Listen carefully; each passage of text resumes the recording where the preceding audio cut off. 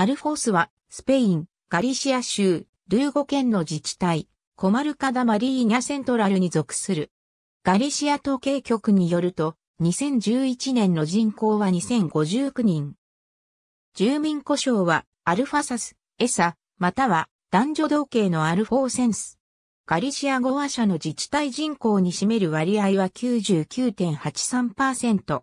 アルフォースは、ルーゴ県の北部に位置し、コマルカダマリーニャセントラルに属する。北から、西はオーバーラ道路、北はフォス、東はモンドニエード、南はアバデンの各自治体と隣接する。自治体中心地区は、モル教区のアッセアーラ地区。アルフォースは、モンドニエード司法管轄区に属す。住民は旧の教区の153の地区に居住する。自治体首長は、ガリシア国民党のエミリオ・ローサス・ムイーニャ。